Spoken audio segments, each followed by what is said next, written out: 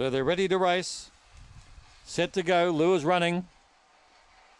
They're off. Joshy Wink Wink was only moderately away. In fact, it's last on settling. Demora Flash was away brilliantly. Leads from Viking VB. So Demora Flash to the back. Five lengths. Two in second place. Viking BB going forward. Bungaloo Thor. Now Joshy Wink Wink from last is starting a run. Gives the leader eight length start. Back behind them, well done, Woody. A long way back in the field then to My Dad's Dream coming to the turn. Leader stopping, Demora Flash coming home. Joshy Wink Wink.